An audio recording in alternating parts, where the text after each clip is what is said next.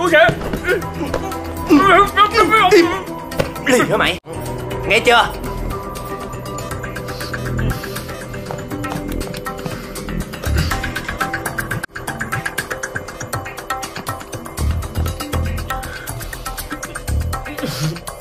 Alo.